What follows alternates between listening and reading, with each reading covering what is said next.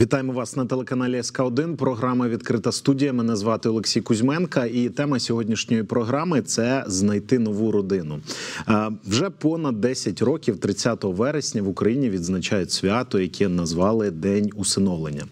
Дата була вибрана не випадково, адже саме сьогодні ми маємо церковне свято, День святих віри, надії та любові, а також їх матері Софії.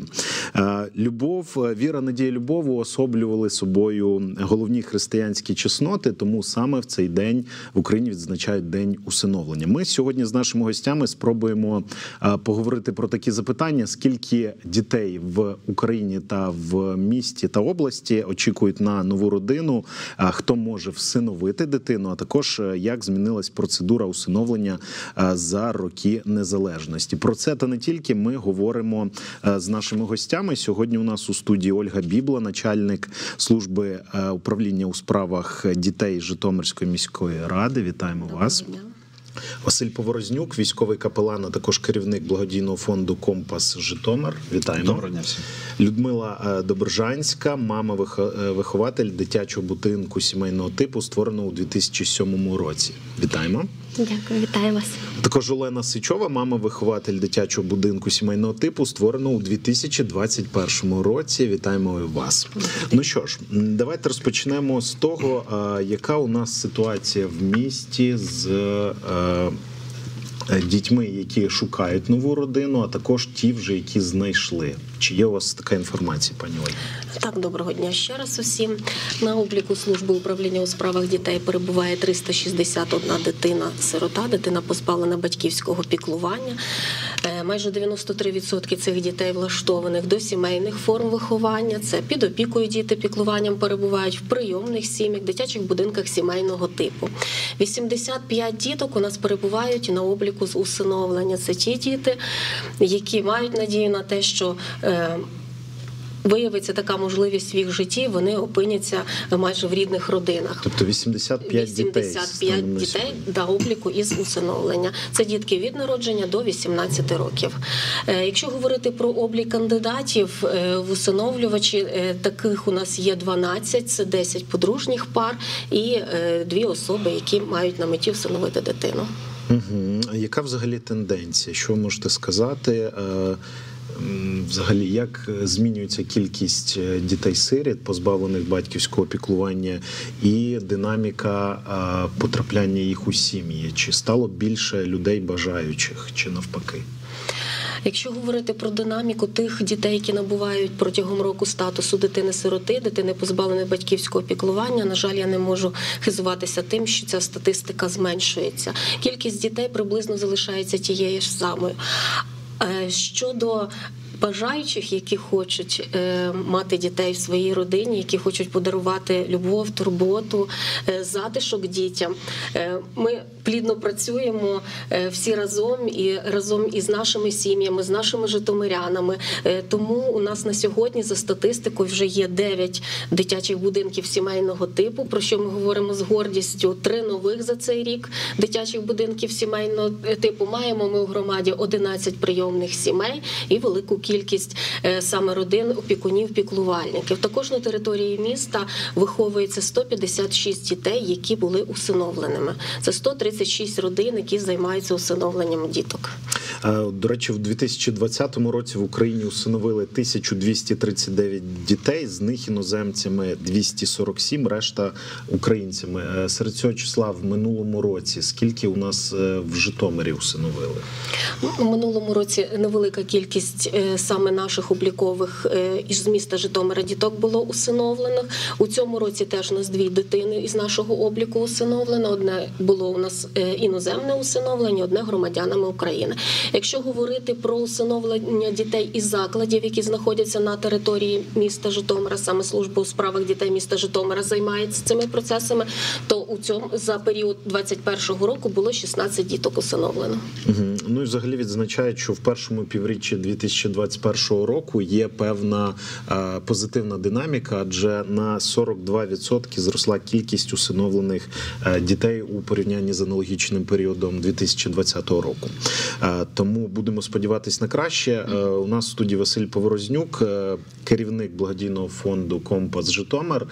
Пане Василь, розкажіть, як ви долучені до процесів, ось саме що стосується усиновлення. Доброго дня ще, раз всім. Яким чином? У нас давно була мрія свого часу з дружиною, коли народився 18 років назад старший, у нас перший первісток. І ми гуляли там на багуні, і ви знаєте, там дитячі будинки, були малютки, і ми неодноразово відвідували. У нас була така ідея, можливо, взяти звідти дитину. Але сталося так, що другий син, коли народився, у нас особливим потребам з аутізмом. Потім народився третій. Ми зрозуміли, що ми не зможемо самі реалізувати, тому що. Багато часу на власних дітей, але ця думка допомогти е, таким дітям, тому що ми бачили з досвіду, як священнослужитель і прихожани е, церкви е, усиновлювали, брали опікунство, і також іноземні наші друзі брали дітей хворих і тяжких. Це спонукало якось діяти. І десь два роки назад ми вийшли на одних наших партнерів, фонд німецький фонд міст життя, який займається благодійністю, саме будує будинки для прийомних сімей, дитячі будинки сімейного типу. Ми вийшли на міську раду до міського голови з таким пропозицією. Підтримку отримали і від служб е, міста, і від самого мера. Нам надали дві ділянки, е, побудували два чудових прекрасних будинка. Е, При цьому не залучалися державні кошти, кошти міста. Нічого не залучалося. За благодійні кошти було побудовано гарні два будинки, кожен 290 квадратних метрів. Там є сім спальних кімнат, шість санузлів, тепла підлога, сучасне обладнання. Так що і дві сім'ї заїхала. Одна із цих сімей тут це наші друзі, які ми давно знаємо. Вони от герої, вони справжні герої. Ми просто створили умови максимальні для того, щоб там було. А справжні герої це оці мами, які сидять напроти нас. Я вважаю. Мгм. Олена Сичова, от саме е, в 2021 році стала мамою вихователем в дитячому будинку сімейного типу. Е, Пані Олена, розкажіть декілька слів, з чого у вас все розпочиналося, і звідки взялася ось така думка. Ну, саме про дитячий будинок сімейного типу це виникло досить так спонтанно, але е, цьому Спонтанно я, от як? Що, що ви в цей момент робили, що у вас виникла така думка? спілкувалися з дружиною е, Василя Васильовича. Річ у тім, що ми е, з чоловіком одружені 12 років. У нас своїх дітей немає, і вже не один рік ми думали про усиновлення однієї двох, двох дітей. От е, ми самі вчителі е, з-під Києва. От е, ну і так ми думали, то одні обставини з'являлися, то інші. Минулого літа ми вже навіть почали цікавитися, які саме документи потрібні для цього, але потім за певними обставинами ми відклали це питання. От і потім просто в розмові з дружиною Василя Васильовича вона сказала: ой, тут, добудовуються будинки, а родин немає ще поки що. Може, ви ну і вона просто це так кинула. Це було як- зараз пам'ятаю, 14 лютого. Це день народження чоловіка. Ми з нею переписувалися у Вайбері. От я чоловікові сказала. Він такий: а ну ну і давай запитати. І вона каже: слухай, а це серйозно? Чоловік розпитує. Ну а вже в кінці березня ми приїхали, подивилися будинки. Вони ще були тоді тільки все готувалося, там ремонт. А в за квітень ми зібрали документи. В червні пройшли е, курси в Житомирі, і вже 18 серпня. Е, Були перші троє хлопців у нас в будинку. Ось так. У вас такі кардинальні зміни, і о, за такий короткий проміжок часу. Які у вас враження ось станом на сьогоднішній день? Що ви відчуваєте? Чи звикли з своєю новою роллю? Е, Ну, скажімо так, тут нова роль не тільки тому, що ну більшість дітей, е, більшість сімей, які беруть е, дітей, от багато дітей, вони е, в них вже є там своїх кілька, для них це більш-менш. Наші друзі казали нам, ну для вас це буде досить складно, тому що у вас не було дітей. От і так, от е, не тільки в цьому кардинальна зміна. Ми працювали в школі, і для нас, знаєте, де 5, там і 10, ну тобто нам навіть це легше уявити, ніж одна-дві дитини. От нам ще довелося змінити місце проживання. От нам Житомир подобається, і умови, в яких ми живемо, звісно, теж дуже е, все зручно, все зроблено от ну від серця дійсно, і дітям дуже подобається. От е, також я залишила роботу. Чоловік чоловік продовжує два дні їздити в- школу, де ми працювали. Ви знаєте, саме сьогодні мені приснився сон, який я думаю дуже алегорично, що я у відкритому космосі і намагаюся просто не, не відірватися, ну тобто триматися цього космічного корабля. І я пам'ятаю, я кажу комусь фразу дуже круто, але дуже стрьомно. І це дійсно те, як напевно ми себе зараз з чоловіком почуваємо. Ну, які у вас стосунки з дітьми на даний момент? Чи е, ми розуміємо, що діти це неймовірне щастя і радість? Їхні е, емоції так приносять величезне задоволення, позитивні емоції і батькам, але ж е, і розуміємо, що це додаткові клопоти, це відповідальність і багато речей, які приносять не зовсім позитивні емоції. Так, дійсно, знаєте, це напевно можна порівняти з американськими гірками. От що один день ти на висоті, все чудово. От, наприклад, вчора чоловік повернувся з роботи, його не було одну добу. От все було чудово, ідеально, але напередодні ввечері я йому ледь не плакалася в телефон, що от е, повертайся швидше, тому що все досить складно. І ну це, це стосунки. Ви знаєте, е, нас багато хто лякав побутом і казали: ну ви розумієте, ви жили вдвох, ви що хотіли, робили, коли хотіли, там їли, коли. А тут побут це напевно найменше, що може хвилювати, оскільки особливо живучи в таких будинках, коли в тебе все є, по суті. От е, стосунки, напевно, це найскладніше побудова. Притирання, ось цей період адаптації. стосунків. Ми і досі дядя Вова і тьотя Лена. От і ми, в принципі, нас це не скільки навіть не засмучує, нічого. Просто ми розуміємо, що це нормально. У нас діти від 9 до 15 років. А, В однієї родини є тато, в іншої тато і мама. Тобто, і це діти, які пам'ятають їх, які ще місяць тому або три місяці тому були з ними. От тому, ну але знаєте, можна називати мамою і татом і при цьому десь там носити камінь за пазухою. Можна залишатися тьотя Лена, дядя Вова, але при цьому вже мати якісь стосунки. Е, Не з'являлось думки покинути все і повернутись до попереднього життя, чи вже шляху немає назад? Ви знаєте, ми коли з чоловіком ем, бралися за це, і коли з нами теж спілкувалися. ем, Ну, наші близькі люди, ем, ну ми казали, що для нас це все одно щось власні діти. Е, Це назад шляху немає. Це так само, як з одруженням для нас, оскільки ми будуємо е, своє життя на біблійних засадах і віримо в те, що це один раз і назавжди, так само і з цими дітьми. Тобто, якщо вони вирішать від нас піти, то ну от, або служби вирішать, що ми ну не можемо впоратись, то тоді да. А так, ну ми е, ну. Ну не можемо принаймні зараз. Пані Людмила, ви вже досвідчена мама. Ви мама-вихователь е, дитячого будинку сімейного типу, який створений в 2007 році. Розкажіть, з чого починалась е, у вас ваша історія, і які враження на сьогодні маєте?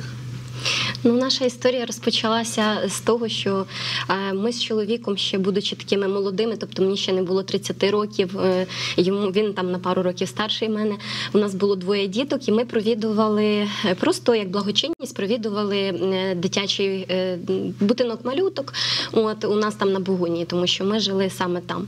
От чоловік мій військовослужбовець, от і маючи двох дітей, якби ну ми тоді не задумувались про те, що якби можемо ще взяти дітей. Да? Ми просто думали про благочинність.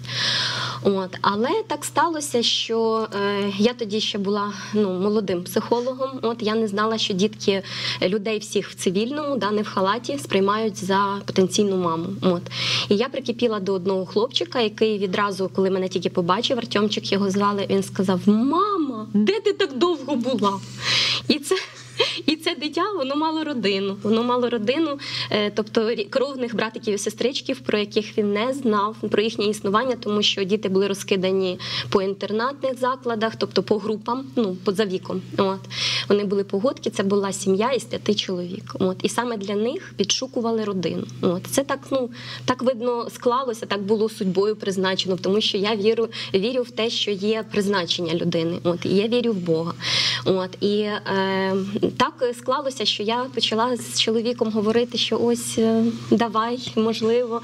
Він каже: Та ні, це напевно для тих людей, в кого ну хто не реалізувався ще як батьки, там чи я, чи ще щось, чи може, от просто хочуть ще ну щоб родина була велика. От у нас е, чи може хочуть хлоп, у них хлопчики, а вони хочуть дівчинку. От я кажу, ну в нас є і хлопчик, і дівчинка, якби ну що ще. Але я кажу, дивися, ми можемо стати, ми можемо зробити цих дітей щасливими. От уже шукають якийсь певний час сім'ю молоду, які б могли б взяти, і поки що в того умови не вистачають, того, того той не може погодитися. От, а ми можемо і хочемо. Давай. От. І ми ст- стали підштовхувати, говорити з ним про це. Ми пройшли курси батьківства, і ось е, саме.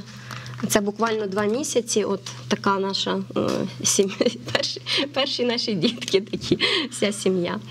От тому.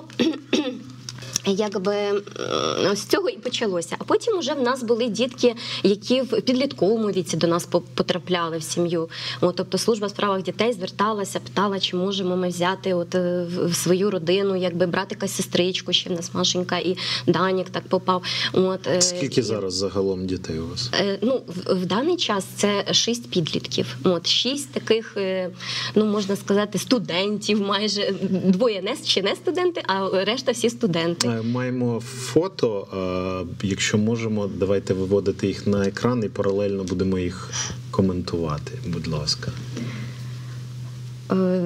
Це щось із туризму. От е, це ми ходили не лише наша сім'я. в мене просто діти займалися туризмом. От багато років їздили на все всеукраїнські і взагалі на всі е, змагання по туризму. От і це один із виходів. Тобто там не всі діти, там частина наших дітей. От. Угу. Як вони взагалі між собою спілкуються? Ну, спілкуються як звичайні діти. Їм е, е, вони дружні, вони в любові зростають, в добробуті, е, в щасті. Їм подобається разом проводити разом проводити час. Особливо дуже подобається ну там різні м, активний відпочинок. Тобто, коли тато виводить нас десь з палатками в, в, в гори чи просто в якусь місцевість лісову. От, е, цінуємо традиції сімейні. Ось зараз ви бачите в вишиваночках всі. От, ми е, ну, такі патріотична сім'я, можна так сказати. Тато наш теж не залишився осторонь і зараз знаходиться в ООС. От. Це родинні такі свята, тобто будь-який день народження, будь-який е, ну, що, що в сім'ї трапляється, це все іде якби від душі, і це все іде. Ну, кожен радіє цьому, що ось ще одне день народження. От одна е, донечка моя народжена в серці, от яка ну, буквально рік проживає з родиною, то вона е, казала, що е, вона боялася дуже, що така ну, родина, багато дітей. От а я, я там потеряюсь, вона казала, я там потеряюсь. От, а тоді, а тепер вона каже. Так, велика сім'я це так класно. Стільки днів народження, кожен день є привід для радості. Це насправді чудово. Стосовно пані Олени, маємо сюжет, який нещодавно відзняли про відкриття в Житомирі двох будинків, дитячих будинків сімейного типу. Давайте його переглянемо. Хтось розглядає свої нові іграшки. Це хто?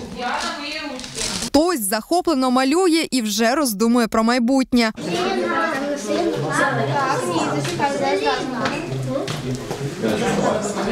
Я граю на гітарі і на фортепіано вже восьмий рік буду вчити. А то це точно буде не малювання. Ну в подальшому я не буду малювати. Ну я взагалі хочу піти кудись або в інженерне, або в ІТ. А хтось в такому шумі солодко спить у новій родині.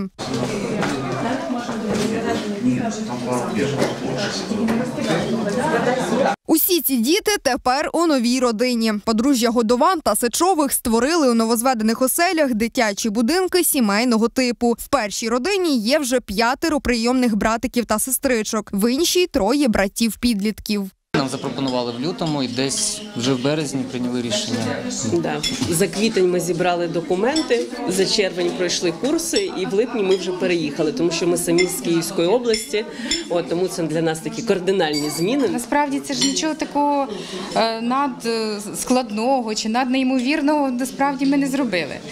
Це, це дітки, такі самі дітки, як в нас, такі самі ну, сердечка, такі самі душі. Усі ці діти тут не випадково. słowo Якщо той контакт встановлений, діти пішли на спілкування з батьками, батьки е, відчули да, те, що діти дійсно хочуть і бажають саме проживати в їх родині. Тут такий гарний, е, позитивно, емоційно наповнений процес. Олена та Володимир Сичові не мають власних дітей і вже давно подумували про усиновлення. За освітою педагоги, тож жартома кажуть, кількості дітей, яку у майбутньому будуть виховувати, не бояться. Навпаки, вже чекають поповнення у родині. Сподіваються, з'явиться донечка. Ну, вони досить швидко пішли на контакт. Е, Кирил старший, от сьогодні він теж не вийшов. е, Він так трошки сором, сором'язливий, такий скромний. Так, але е, ми їх запросили в парк, потім в гості, і вже через декілька днів вони вже хотіли, не могли дочекатися, коли вони до нас прийдуть. Тому слава Богу, все пішло дуже класно. Наталія і Сергій Годован, окрім всиновлених п'ятьох дітей, мають ще трьох своїх. кажуть, біологічні діти рішення підтримали, адже такий досвід родина вже має. Батьків моїх біологічних батьків е, також ДБСТ. Тому для моїх дітей це не було ні стресом, ні травмою. Вони, в принципі, готові були. Вони дуже гарно сходяться, дружать з дітьми прийомними моїх батьків. Ну так що з цієї сторони в нас вже все було все схвачено. Так. Ці два ДБСТ побудував німецький благодійний фонд Міст в життя.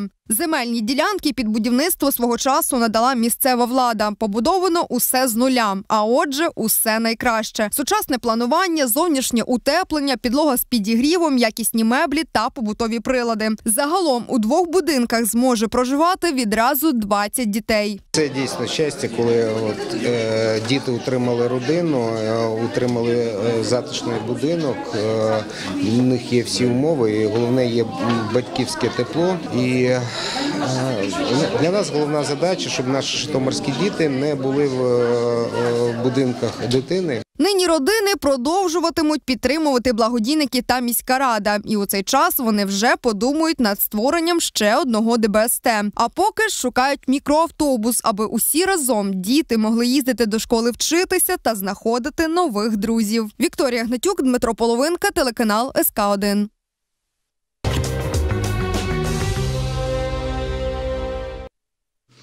Ну що ж, побачили, як проживають нові родини. Е, Пані Олена, цікаво е, дізнатися, е, які були умови. Тобто, зрозуміло, побудований новий будинок, які були умови поставлені перед вами. Тобто одразу скільки у вас дітей е, з'явилося в цьому будинку? Спочатку троє, троє братів. От е, і саме от в, день, коли знімався сюжет, який ми щойно бачили, нам повідомили, що є ще троє дітей. От е, два брати, двійнята і сестра. От е, і вони вже чекають, якраз у них е, судовий процес. Там всі документи готувалися, були майже готові. І це було здається 30 се- е, серпня. А вже 1 вересня ми в шістьох, е, тобто шестеро дітей. Ми з чоловіком пішли на свято першого дзвоника в школу, куди ми е, ну, відправили дітей вчитися. От і ось так. От Ну, кількість дітей це ваше особисте бажання, чи вам по- поставлені умови, що вам треба заповнити цю рукавичку повністю? Не так жорстко. Дивіться, ну на законодавчому рівні е, дитячий будинок сімейного типу це від п'яти дітей. Тобто у нас мало бути як мінімум п'ять дітей, оскільки дві родини, то тут тут як так у нас якраз по часу по всьому склалося. От шестеро дітей а, і до десяти. От е, ну поки що я думаю, ми зупинимося на шести, а там подивимося, як, як піде. Зараз, хоча от у нас шість кімнат, е, по два місця в кожній, але ми дітям надали право вибору. е, Вони могли або по двоє жити, або по одному. Вони всі обрали жити по одному. От і зараз, коли ми кажемо, що можливо ще хтось з'явиться, вони кажуть, ні, ні, ні, тоді нам доведеться ще когось. Кажу, ну ви знали одразу, що так буде. А Процес оформлення документів, взагалі, що потрібно було, щоб стати ось мамою-вихователем в дитячому будинку? Ви знаєте, е, взагалі-то е, ну, ми, ми очікували, що це буде складніше. Дуже е, нам було зручно, що в, квітні, коли ми збирали документи, це був період карантину, і ми, як вчителі, працювали онлайн дистанційно з дому. І тому ми з чоловіком швидко проводили уроки в онлайн і, бігли по інстанціях. От навіть медичні документи було досить легко зібрати все. Ви знаєте, тобто, якщо це дійсно твоє, якщо це дійсно згори, так би мовити, від Бога, то все буде складатися так, як воно має бути. Дуже е, нам допомагали. Василь Васильович одразу дав нам контакти е, місцевих служб і був супровід, тобто нам радили, що потрібно зробити, до кого звернутися. От які саме документи потрібні, хоча ми з іншої області. От, але дуже йшли на зустріч. Взагалі, ми з чоловіком відзначаємо, що дуже привітні, доброзичливі люди е, в Житомирі. От і можливо легше ніж там, де ми жили раніше.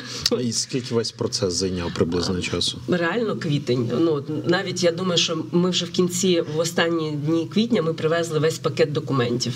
От е, тобто, це буквально три тижні. Е, і то це не кожен день ми там ходили по інстанціях. Тобто, якщо ти хочеш, е, то це все реально зробити і ну. Угу. Стосовно фінансового забезпечення, розуміємо, що багато дітей це багато різноманітних витрат. Чим держава допомагає, так як відбувається підтримка ось таких е, дитячих будинків? Фінансова підтримка дитячих будинків сімейного типу відбувається саме за е, кошти держави. Е, Батьки отримують е, фінансову допомогу на кожну дитину, і також уже після зміни законодавства на кожну дитину батьки отримують ніби як заробітна плата. Тому ці кошти вони можуть використовувати на харчування, одяг, навчання і розвиток. Ми зі свого боку, як місцева влада, намагаємося підтримувати наші родини.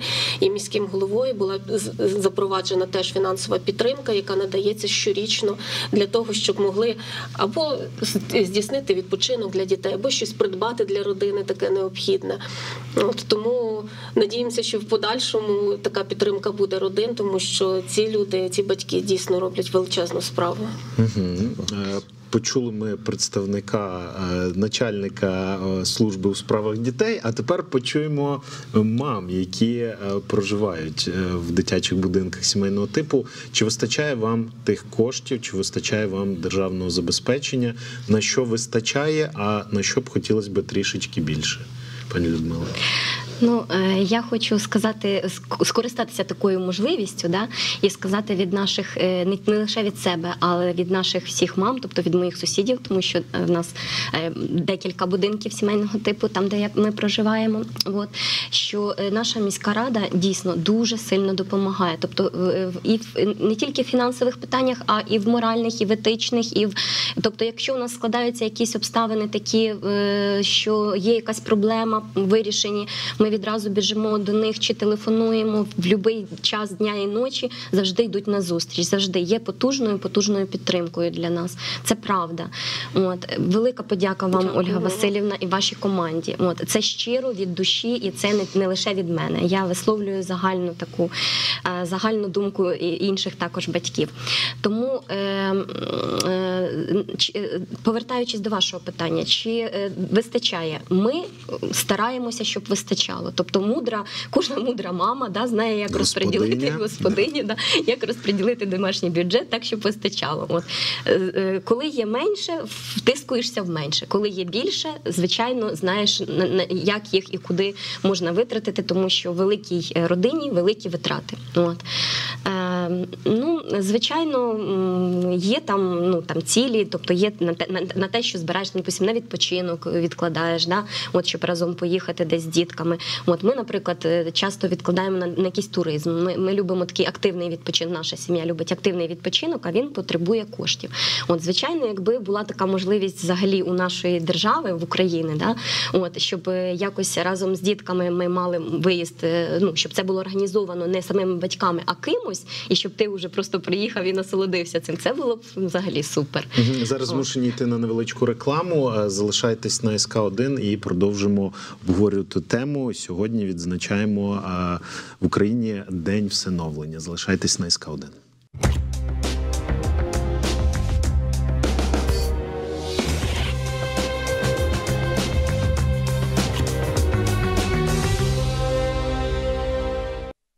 Вітаємо тих, хто щойно доєднався до СК 1 Програма відкрита студія. Сьогодні тема нашої програми це знайти нову родину. Е, Сьогодні обговорюємо тему, яка присвячена е, дню усиновлення. Е, Ну що ж, ми зупинились на темі фінансового забезпечення. Пані Олена, е, ви в новій ролі доволі нещодавно е, в ній опинилися. Е, Як відчуття стосовно фінансового забезпечення? Ну наразі мені складно сказати, вистачає чи ні, тому що в силу бюрократичних різних моментів е, виплати ще десь в дорозі. От. Тому я розповім трошки про іншу сторону, в якому плані. Е, Як можна вижити, коли надходжень ще немає? Ну ви самі розумієте, шестеро... Лайфхаки, так Да, звані. да. А, коли шестеро дітей, яких потрібно зібрати в школу, от, а, Це то... дуже це дуже цікаво. Да, от, да. Вперше- е, коли у людей одна дитина, вони в такій легкому шоці, а тут шість одразу. Да. Е, І всі вони, в принципі, ну хтось там перші троє дітей прийшли, в них там були якісь речі, а інші троє то ну майже без нічого. От е, то ну вперше в житті нам з чоловіком довелося спустошувати свої кредитні картки. От але ви знаєте, що ну деякі е, речі або багато, от майже кожного дня ми зіштовхуємося з дивами. От коли е, тобі телефонують або пишуть люди, яких ти взагалі не знаєш, і кажуть, от ми і з їхньої фотки е, ну, на аватарці, ти розумієш, що у них теж багато дітей. От ем, і вони кажуть: от ми чули, яка у вас є потреба, от в чому, який одяг, ми б вам відправили там, ми з іншої області. От, і ти їм кажеш, що нам треба там ну, взуття чи ще щось. Він каже, ну от зараз немає наразі, але ми вам можемо від е, надіслати гроші. Давайте свою картку. І коли ти надходить, і ти думаєш, що там напевно два нулі після п'ятьох, а там три нулі після е, ну тобто зовсім незнайомі люди надсилають тобі такі гроші, просто щоб ти міг щось придбати для дітей. Або ну звісно, великою допомогою є. Е, Церква, компас, до е, якої ми ходимо, також вся громада е, реально і питають, що потрібно, як допомогти. І Василь Васильович безпосередньо просто віддав нам свій мікроавтобус для того, щоб у нас є власне авто, але ну самі розумієте, вісім чоловік у ну, п'ятимісну машину не можуть поміститися. От і тому подібні речі, і коли люди там і одяг віддають, і надсилають, і наші друзі. Ми з ем, завдяки вашому каналу е, 31 серпня ми прокинулися відомими людьми. І коли батьки, е, з якими ми працювали з дітьми, дітей, яких ми навчали на Київщині, вони писали там: Ой, ми вас бачили, а чим вам допомогти? А ми б там щось хотіли, і щось якось. От е, телефонують і друзі. Тобто, це лайфхаки, як можна вижити. Тобто, коли е, є ну, надійний тил такий, то можна вижити навіть поки що. Це не означає, що взагалі не треба державних надходжень, але от і навіть свята, і ми вже багато чого змогли з дітьми зробити. Ну завдяки таким. Я сподіваюся, після сьогоднішнього ефіру ви станете ще більш популярними, і ці надходження будуть збільшуватися, і телефонні дзвінки, які будуть пропонувати допомогу. І ось ця приказка, яка існує в народі, що якщо Бог дає дітей, то дає і на дітей, мабуть, справджується і підтверджується вашими словами. Пане Василь, стосовно благодійників, ви хотіли Да, сказати. я хотів подякувати всіх благодійників Житомира, тому що коли стикнулося тут шестеро дітей, і там та друга сім'я, якою ми, ми особисто компас опікуємося п'ятеро, 11 дітей одразу, і не взуття, не одежа, йде осінь, зима. І ми я звернувся особисто до всіх наших волонтерів. Я щиро дякую там і е, Лесі Морозова, і Юлі Толмачова, Маріна Маріш і інших. І кожен е, з радістю відгукнувся, і знаєте, е, на перший пора забезпечили. Також хотів би звернутися до наших депутатів місцевих Верховної Ради, які прийшли в Верховну Раду. Тож такий лайфхак запропоновано, що вони. Я думаю, що всі підтримують їхню партію. Хто перша партія це запропонує законопроект, буде мати велику підтримку, особливо від таких от сімей, а їх достатньо в Україні. Одна із нужд подібних сімей це транспортний засіб. Для пресування, ви розумієте, да? Е, що того в школу, а того на, е, на музику, а того треба е, стоматолога. Ну а так, того, просто що якщо да. ця родина зайде до громадського транспорту, це одразу одна родина повністю заповнює його. Да, і маршрутчики будуть невдоволені, тому що якісь як корочки, все Пільговики, інше, всі пільговики, пільговики. Да, да, всі пільговики. І тому зараз обмеження певні карантині, і необхідно обов'язково для кожної родини транспортний засіб. У нас є там так називаємо конфіскат, коли конфіскується або контрабандистів, або якихось злочинців, їхнє майно і там транспортні засоби. Якщо би провести це законом, щоб на законодавчому рівні е, ці транспортні засоби передавали саме дитячим будинкам сімейного типу, де мінімум вже п'ятеро дітей. Та в принципі не лише транспортні засоби, а ще якісь корисні речі. Да, і звичайно. держава по суті нічого не витрачає з Бо невідомо, бюджету. е, десь там воно конфіскується, коли далі йде, ну невідомо. І було б непогано це і для тих сімей. Я е, пишаюся всіми родинами, які і прийомними, і створили ДБСТ. Це герої нашого часу. Їм треба допомагати ось таким чином. Е, Пані Ольга, ще таке питання. Були певні побоювання, що в зв'язку з процесом децентралізації з початку 2021 року е, е, виникне такий певний колапс, тому що в Україні мала з'явитись сервісна служба, однак усиновлення не входило до переліку їх обов'язків. І ОТГ також не могли додавати до банку сиріт дітей. Чи, чи не було на початку року ось такого колапсу? Ну я скажу про нашу територіальну громаду. Ми залишалися нікуди не децентралізовувалися, то відповідно на нашому рівні ми не зазнали цих ушкоджень, скажімо так, і тих е, нових подій, які відбувалися. Але інші громади все ж таки е, мають певні зміни, і до сьогодні вони ще врегульовуються у плані внесення базу даних дітей, е, постановки їх на облік і так далі. Тому певні питання виникають. Ми ж теж працюємо з іншими територіальними громадами, коли дитинка або усиновлюється, або Наші усиновлюючі усиновлюють е, дитину з іншого регіону, тому певні питання виникають. Але я думаю, що всі разом ми дійдемо згоди, і ці питання будуть врегульовані. Але на жаль, цей процес іде не дуже швидко. Угу. Взагалі, давайте поговоримо про те, хто може е, всиновлювати дітей, а також яка процедура, як вона з роками змінювалась, чи зазнавала певних змін, і чи необхідні вони ще додаткові. Зміни відбуваються постійно, і це теж відноситься і до усиновлення. Ну, з кандидатами в усиновлювачі може стати громадяни України, повнолітні, дієздатні, е, які мають величезне бажання, вирішили для себе, що все-таки вони можуть подарувати турботу і любов е, будь-якій дитині, да, яка трапиться на їх шляху, яку вони оберуть. Е, Стосовно Стосовно тих змін, які відбувалися, ось е, нещодавні зміни, які відбулися, це проходження навчання для кандидатів усиновлювачі. Раніше такого не було. Кандидати не навчалися. Зараз проходять навчання. Ну, відгуки різноманітні, ну, чесно скажу. Деякі приходять із задоволенням, говорять, да, дійсно, це необхідно, це потрібно. Працюють психологи, вони відрегульовують певні процеси, налаштовують людей на те, що їх чекає попереду, бо е, іноді. Від великої любові люди не аналізують і не розуміють, що їх буде чекати, і потім наступає той момент, коли повна розгубленість і не знають, що робити, тому що дитина е, в будь-якому віці від народження е, чи більш старшого віку е, дитина є травмованою. Якщо вона вже набула статусу дитини-сироти чи дитини позбавленої батьківського піклування, коли батьки залишаються один на один, тоді виникає велика кількість питань. Тому я особисто вважаю, що навчання воно є необхідним моментом саме для усиновлювачів, тому що багато чого пропрацьовується під час навчання, і батьки вже є більш психологічно готовими до того, що їх буде чекати попереду. Угу. Пані Олена, чи проходили ви навчання? Так, проходила. Я б хотіла відзначити, що дійсно на дуже високому рівні проходить. Яка суть була цього навчання? це- Що ви там робили Да, на цих ну, заняттях? Ви розумієте, що в силу е, своєї фахової такої підготовки, ну і взагалі е, професійної діяльності, ми багато з чоловіком відвідували подібні ну, навчання різного плану, там починаючи від лекцій, там продовжуючи семінарами, конференціями. Ну але є подібне. різниця. Заняття для вчителів і заняття для Так батьків. от я б хотіла відзначити, що ми бачили дуже багато і на міжнародному рівні. От, Вам просто але- було простіше, ви Е, вже да. деякі нюанси знали з своєю професією. Так, і що ми були дуже приємно здивовані рівнем. Це були не просто лекції, це були тренінги, і які дійсно готують тебе, от як е, казала Ольга Васильівна, а, з нами там різні вправи, психологічні ситуації а, програвали.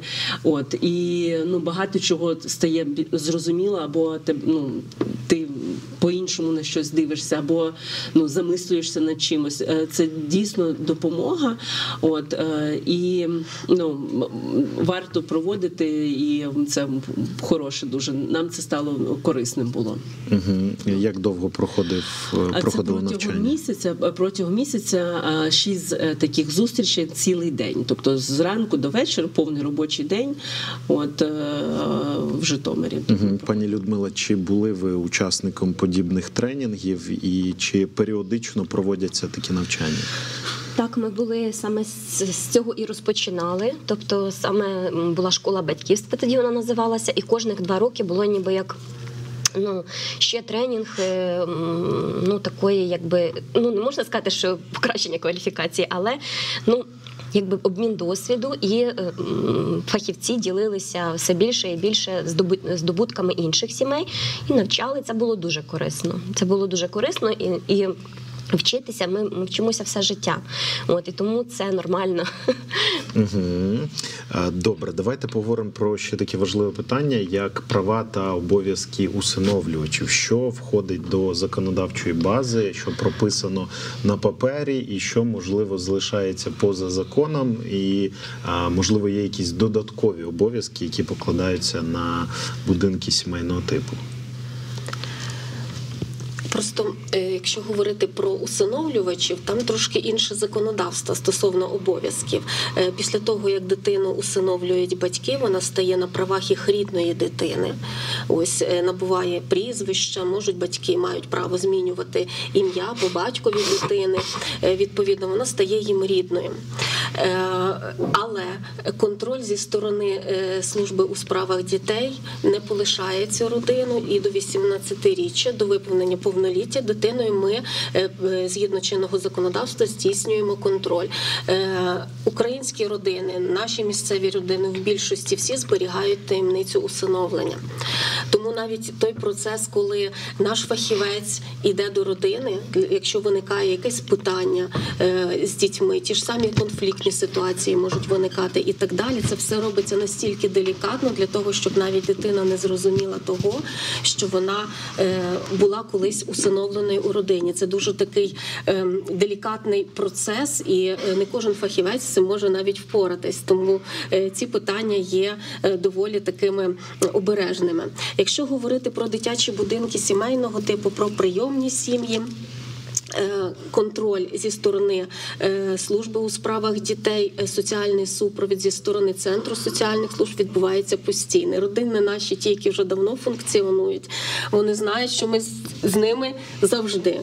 Дійсно, Людмила Іванівна казала стосовно того, що ми вдень і вночі, якщо, не дай Боже, трапляється щось з дитиною, чи дитина захворіла, чи потрібно терміново вирішити якесь питання, то дійсно батьки наші можуть звертатися у будь-який час. Хоч ми і працюємо з 9 до 18, у нас два вихідних, але для наших батьків, для наших дітей ми ніколи не відмовляємо тому, що ми маємо взяти слухавку і вирішувати те чи інше питання. Тому і супроводження, і контроль здійснюється постійно. Ну можливо, ми іноді і зачасто, і забагато нас в їх житті. Але як то кажуть, чужих дітей не буває, тому що тут діти наші. І першочергово служба у справах дітей вона знає історію кожної дитини.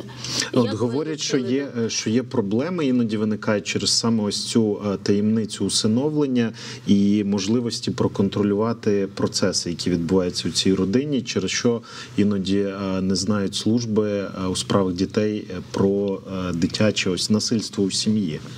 Чи, чи є проблема з цим, з таємницею усиновлення і контролем?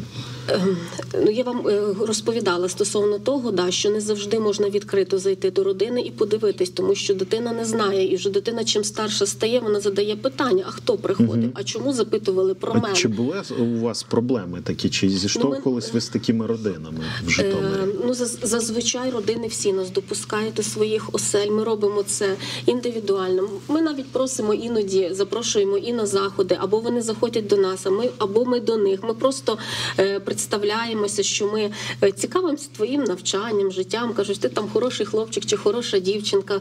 І вони вже в певній мірі звикають до нас, але е, таємниця завжди повинна бути збережена. Ну, у нас таких випадків у місті не було, що відбувалося насилля у родинах усиновлювачів. Ну і зазвичай співпраця налагоджена таким чином, що якщо виникають якісь питання навіть в родинах усиновлювачів, то вже йде особисте життя, вони завжди звертаються до нас. Угу. Пані Олена, пані Людмила, е, як вам контроль Чи не занадто багато вас контролюють? І взагалі розкажіть, як це відбувається?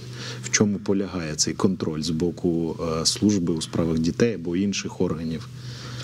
Ну, ми взагалі дуже публічна сім'я. От тут не то, що навіть служба контролює, тут суспільство контролює, і сусіди, і все. І в першу чергу, як ти е, перед Богом, от перед людьми, перед своїми дітьми, перед родиною. От ну а друге, е, ди- дитина в дитячий садочок, там вихователі дивляться, як, що, куди. Вони цю інформацію, звичайно, подають в службу у справах дітей. Ідемо до медиків, те ж саме.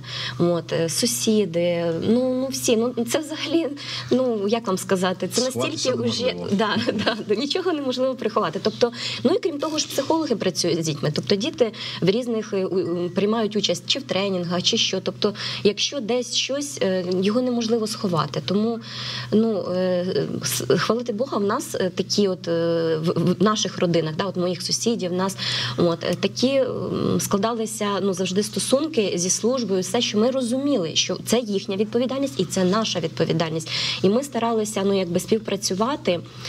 Е, Завжди в такому, знаєте, ну е, в, такому відкритому форматі. Тобто, не я начальник там, а ем, от я прийшов перевірити да, тебе там і твою, а тобто е, з довірливим. Тобто, як вони від, від довірливо до нас, і ми довірливо до них, і ми відкриваємо, ми нічого не приховуємо. І оці стосунки вони допомагають, не приховуючи проблему, виявляти її вчасно, допомагати. Тобто, от в такому е, ключі воно не відчувається як контроль.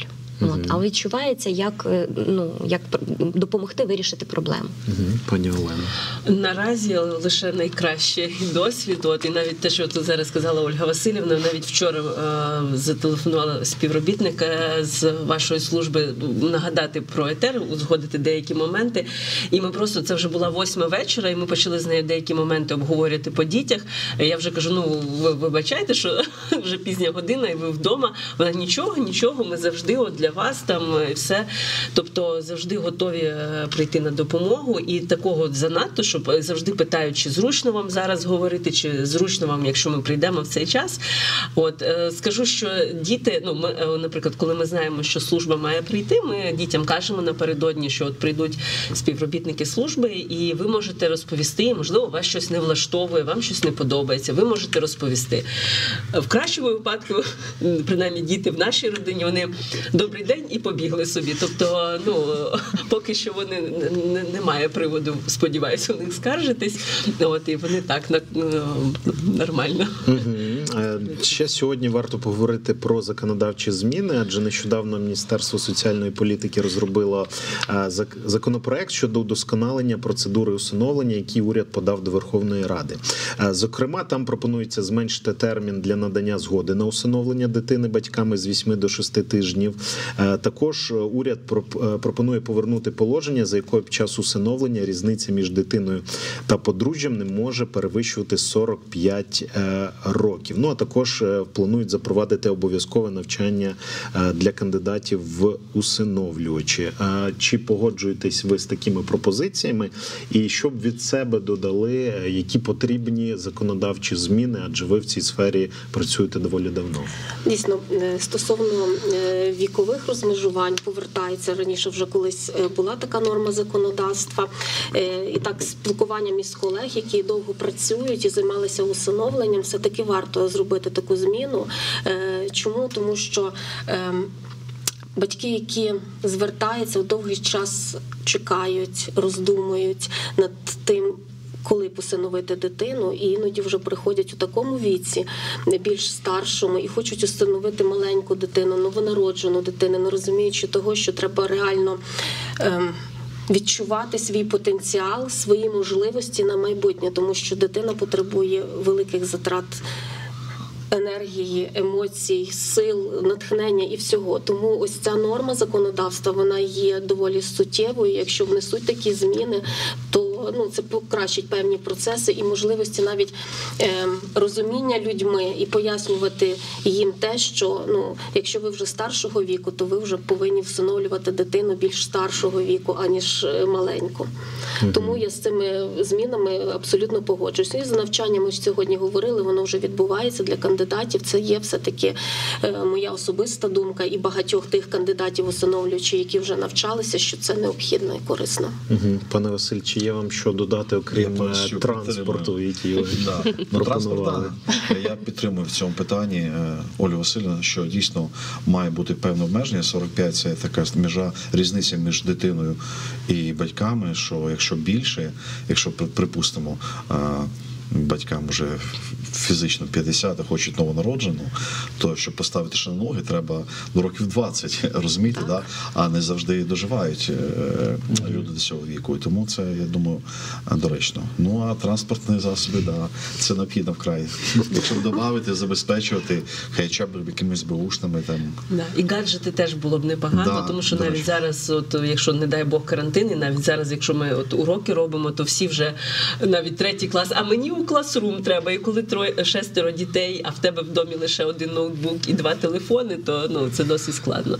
І ще до Ще коли батьки вчителі Да, ще коли, да, і коли чоловік приїздить, до речі, діти вже навіть він коли повертається з роботи, йому треба там доперевіряти роботи і виставити в електронний журнал. Вже старші діти. А можна я перевірю тести? І ну тобто, якщо це паперові, от і вчора вони були засмучені через те, що тести були в електронному вигляді.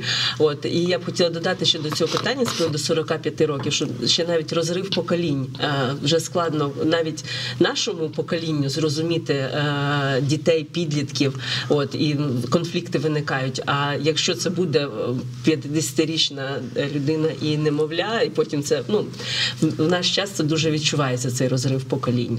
Мгм. Які взагалі існують стереотипи стосовно е, процесу усиновлення? Один з стереотипів, що е, усиновлюють дітей лише ті, хто не має власних. Ось пані Людмила є е, руднів, руднівником цього стереотипу. Е, Пані Ольга, можливо, ви знаєте, які є ще стереотипи?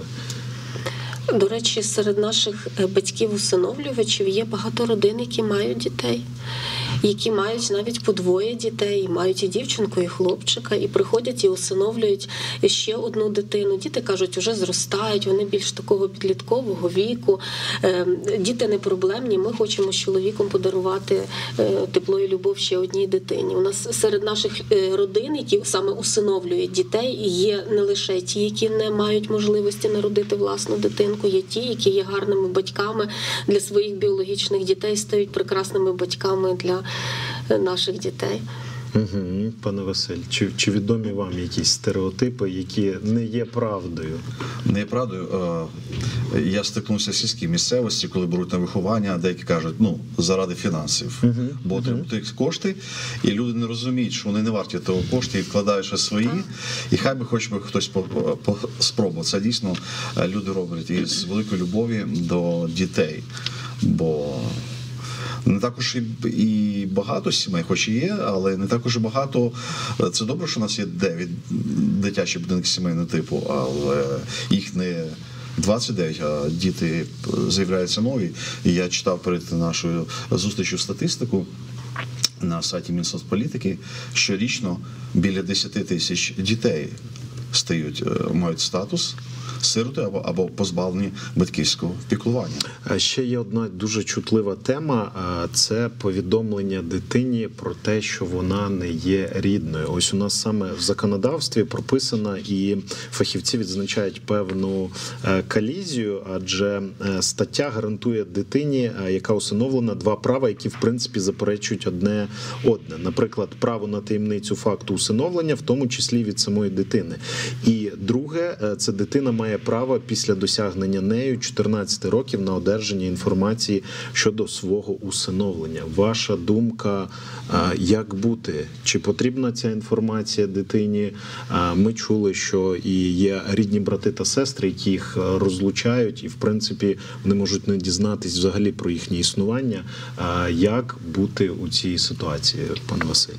Я вважаю, що тут має кожна родина індивідуально вирішити, е, залежно від того, в якому віці була взята дитина, да? чи рідня, чи немає. І вони відчувають, чи принесе це користь, чи можливо все-таки е, може травмувати дитину. Е, Якщо батьки вважають за потрібне, я думаю, які брали на усиновлення, вони краще, ніж любий законодавець, ніж люба служба, ніж любі благодійники, саме батьки відчувають, що для дитини краще. Я думаю, це прописати таким чином, щоб на розсуд батьків, тому що може травмуватися дитина. Мгм, Пані Ольга. Так, і я дійсно погоджуюся з тим, що це є доволі такий індивідуальний процес для кожної родини. Да, серед наших е, сімей, які усиновили дітей, є ті родини, які не тримають таємниці. Є такі. Е, вони по-різному розповідають свої історії, яким чином е, діти дізнались, або яким чином батьки розповідали дітям про те, що колись в давні часи вони усиновили дитину. Але більшість наших родин все-таки тримають таємницю. І я думаю, що цей процес дійсно має бути індивідуальний. Це від особливостей кожної дитини, від психіки дитини залежить. Тому е, батьки повинні мати право вирішувати, говорити дитині про це чи ні. Настав той час, коли це можна сказати дитині, навіть так. Мгм. Чи є вам що додати? Ну е, я просто скажу з досвіду. От у мене дітки, допустим, були маленькими, от але е, знаю, ну бачачи, що ми трошечки не такі рижусь, р- рижулічки, такі світленькі, відрізнялися трошки по кольору, ну прізвище інше. Вони стали задавати це питання. От мама, а ти е, нас родила? От і я казала, що да, я тебе народила в своєму серці. От а і розказувала це як, як історію, як казку. Що от є так, ну так буває, що от в одної людини там дві мами, да? от одна народила, а друга виховує там. А буває навпаки, а буває, от і коли вона е, ну, дівчинка слухала якусь, е, як мама читає казочки, там да, от вона каже: Я не зрозуміла. То ти мені мама чи ти мачуха? От я кажу, ну як і вона мене поставила в таке питання. Розумієте? Тобто, ну якби, але а- як ти можеш бути мачуха, якщо ти мама? І, і от ці, ви знаєте, це було дуже, дуже так не, неоднозначно, не можна просто не знав, як, як, як себе повести в такій. Але в простоті, в добрі і в любові, коли дитині, ну якби отак потихеньку, так е, ну психологи, більшість психологів схил- схиляються до того, що не потрібно робити з цього таємницю, тому що дитина може дізнатися від чужих людей, від інших обставин, і це тоді може дуже сильно травмувати. А якщо іздаля розказувати, що просто що от бувають таке в житті. От бувають такі історії. Може навіть не говорити конкретно, що от в тебе така історія, да? а просто наводити приклад, що таке буває. Буває так, а буває так, а буває так. І тоді в дитини в свідомості це сприймається нормально. Тому що от е, моя дівчинка, народжена в серці, да, вона е, розказувала, е, ну я зазвичай ну, її під, під е, е, ну, скажімо, мотивувала, щоб вона говорила більше, розказувала, то вона складала свої казочки. І вона починала свої кожну казочку, починала чи про Божу коровку, чи про білочку, чи про квіточку, що була мама, вона народила, а потім друга мама взяла цю дівчинку, і в них все було там дуже. Тобто, отак вона розказувала. Ну, це одна історія одної дитини. Да? Пані Олена, ставимо крапку в сьогоднішньому ефірі. Закінчується наш ефірний час. Е, Звернення до тих людей, які планують стати батьками. Буквально коротесенько. А, мотив. Дивіться в своє серце і на свої мотиви, заради чого ви це робите. Е, я не кажу зараз про фінанси чи якусь вигоду, ні в якому разі. Просто ну, е, дійсно переглянути свої мотиви, і якщо це дійсно е, ваше, у вас все вийде. Я дякую вам за сьогоднішній ефір. Бажаю усім миру, злагоди, любові і в родинах, і на роботі. Дякуємо, що дивились нас. Бережіть себе та не забувайте вмикати СК 1 До побачення.